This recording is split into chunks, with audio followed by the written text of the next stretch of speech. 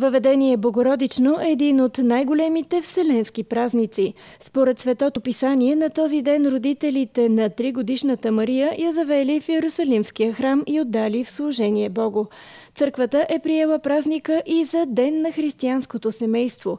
В миналото този ден се е чествал в много ограничен кръг, само с родителите и уния от децата им, които не са встъпили в брак. Всички те отивали заедно в храма, за да измолят за семейството си здраве и благоволение. След това в дома събрани около огнището на чаша вино, топла пита и вкусна гозба, чествали освен празника въведение Богородично и здравата връзка помежду си. Масата оставяли неразтребена, за да дойде Богородица през нощта да си хапне и да благослови домакините.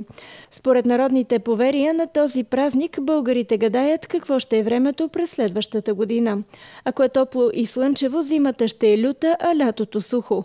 Ако вали дъжд или сняг, зимата ще е снежна, лятото дъждовно, а реколтата богата.